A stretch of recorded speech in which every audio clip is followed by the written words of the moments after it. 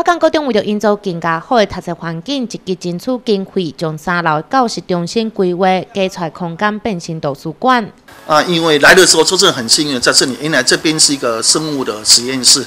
那我认为说学校的生物实验室隔壁是一个理化实验室，所以我就决定就把生物实验室把跟理化实验室合并，把这个空间挪出来，做一个比较大的啊，里面的等于说我们的阅读啊图书馆的一个空啊一个设计。北港高中这处全新的图书馆，内面不但真阔，硬体设施更加健全，成功营造真好的读书气氛。校方阁另外建设展览室，要来提升书生气质。入口的处的地方就产生一个很优雅一个展览空间，希望说不断第一个可以呈现名家的，或是我们跟文化处做合作，那边有比较不错的一个展览，或是比较好的艺术品，我们希望带进来到我们北港地区。那不仅让我们的北港国中师生有机会接触，也让北港地区的民众有机会来接触。第二个，我们还是展示是学生的作品，师生的作品，把好的学生的作品彼此之间做一个良性的一个规范，或是学习。校方表示，这样好的读书环境，未来也拿开放给学生使用，也有民众机会进入北港国中的图书馆。那以后我们会在这边做老师的专业成长，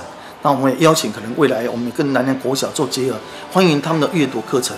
或是的他们的等于故事绘本的的这个讲讲解课，会欢迎到我们的学校来。我们还是跟我们的呃南南国小做更充分的结合，甚至我们欢迎我们的社区，未来礼拜六我们也都开放给社区更多的资源进来这边。北港高中和图书馆功能变多元，增加学习效果，优美的看册环境也成为专校师生下课小组行行好所在。记者李家山长报道。